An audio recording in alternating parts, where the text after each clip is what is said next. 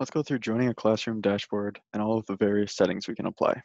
To join a classroom, click on the green Start Class button of whichever class we'd like to join. Once in the classroom dashboard, you can change the settings by going to the Settings button in the upper right-hand corner of the dashboard. The first setting you'll see is Open Enrollment with the option for Open or Closed. Having Open Enrollment set to Open simply means that a student is able to manually join your class from their own device. So for example, if I was a student, I'd be able to go onto my device, enter in the class ID of at josh-demo2 and join this classroom.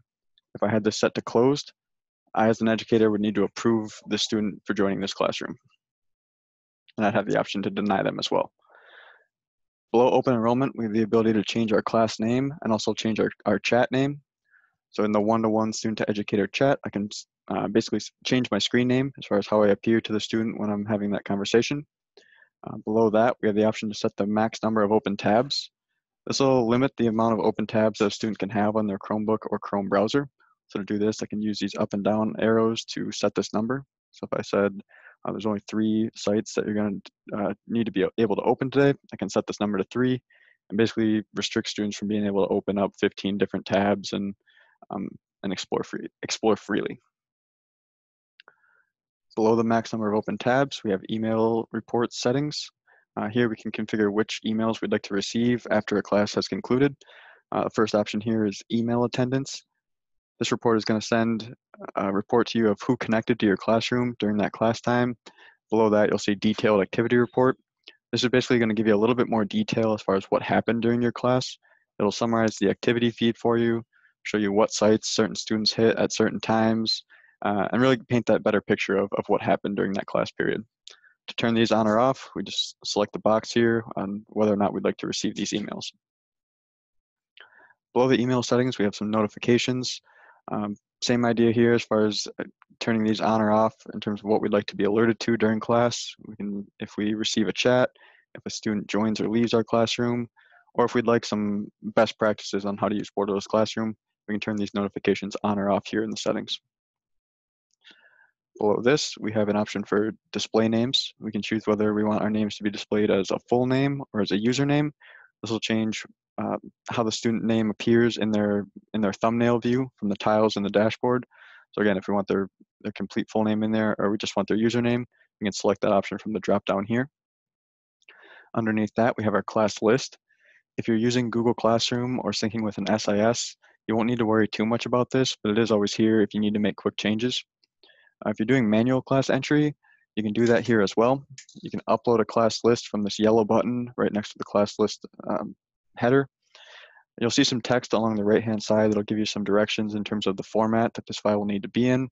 Otherwise, if you're going to make individual changes uh, on a one-by-one -one basis, you can do that below. Uh, to add a single student to your classroom, click on the green Add Student button, enter in the student username under the student column. You can also assign a nickname to that student. This is another way to change the display name that will appear within the tile. So if a student has a certain name they'd like to go by rather than the, the full name or the username, you can enter that in here uh, in the nickname column. Once that's entered in, click on the save icon to the right with the check mark uh, to save that student on your class list. If you need to make changes to any of these students later, you can do that through this edit button. Uh, for example, if I wanted to change John Kennedy's nickname, I could click on this edit button, come into the nickname column, and change this to whatever I wanted John Kennedy to appear as uh, instead of this full name. Again, once I've got that entered in, hit save, and, and that change will be confirmed. Moving on from the class list, we have the class schedule. We have a couple options here in terms of how we'd like to schedule our classes, the first of which being uh, setting a default class length. Same idea here as far as when we first made that class and setting the time that we want this class to meet for. Come in here, enter in the amount of minutes that this class is going to uh, take place for, uh, and we can save that and that'll keep the students forced in for that length of time. If we don't want to do the default class length, we can also schedule classes. So if we know that we have a class that meets every Monday from 8 to 9 in the morning, we can click on this clock icon, select our start time of 8 a.m. If I can find that here, we'll put 8 a.m. as the start time. We can also enter in the end time of 9 a.m. So same thing, find 9 a.m. in the drop down. And you'll see there, we've got 8 a.m. and 9 a.m. entered as our start and end time. Uh, once we save that, basically this class will be scheduled to auto start at 8 a.m. Um, students will be forced in for that um, that 8 a.m. to 9 a.m. period. Uh, right when 9 a.m. hits, the class will automatically be ended and students will be automatically released and, and free to join their next classes. Below the class scheduling, we have an option for co-teachers. This allows you to have multiple educators with same controls over a class period. So if you have student teachers or parapros or substitutes that need access to your class controls, you can add them here in the co-teachers section. Uh, co-teachers will have all of the same controls as the main teacher. The only thing they will not be able to do is change the class settings. So a co-teacher wouldn't be able to get to this settings page and change your class schedule or anything like that, but they'll still be able to do all the filtering, all the tab control, um, all the browser control as well. To add, add an educator in here, click on the add new record button with the plus icon, enter in that educator's username, and then click on the orange update button to save them um, in this field here. Below co-teachers, we have some a class notes section. This works with a notepad to save any notes for the next time you run this classroom. If there's anything you need to, needed to see for later, you can enter it into this class notes um, text box uh, and save that for the next time you run this class. Uh, finally, the last thing that you will see within this section is this block list. Um, if we did have this class that closed enrollment and a student tried to join and we denied them access, that student name would get populated into this block list so you, to allow you to see who you've denied access to um, at the end of any given class. Those are the options that are going to appear um, from the settings section within the classroom dashboard. The other thing I want to cover here is outlines. And to get to outlines, we'll do that from the home screen here. Um, so back at our home screen of where we're able to select which class we're going to join, you'll see in the upper right hand corner this button that says Classroom Outlines. If we click on that, we'll be presented with a window of all of our currently created outlines, and you'll also see in the upper left hand corner uh, a button to create a new outline. If we click on this button, we'll be presented with the options that we want to um, set into this outline before we create it. First thing we'll need to do is give it a name. So we'll make a training outline here. Next, we'll give it a description, whatever this outline is going to be used for.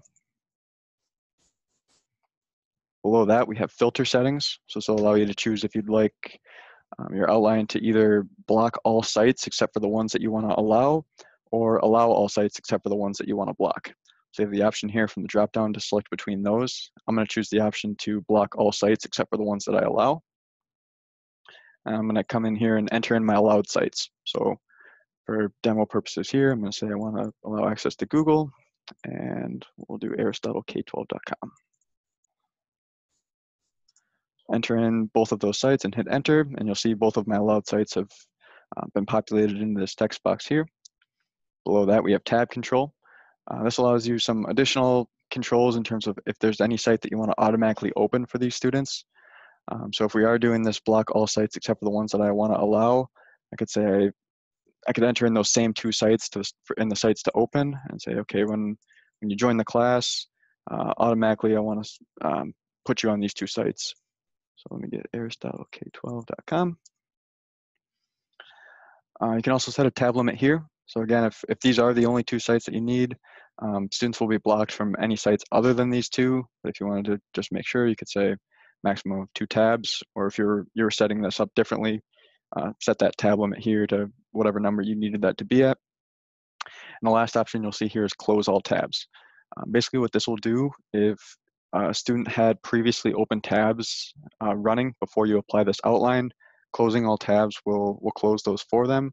Uh, if you had this set to no, it would leave those tabs open in the background so that when the outline is, is removed from them, they can go back to those tabs. Um, I'm going to leave this set to yes to close any previously open tabs that the students had open. I'm going to save this outline by clicking the, the Save Outline button in the bottom right.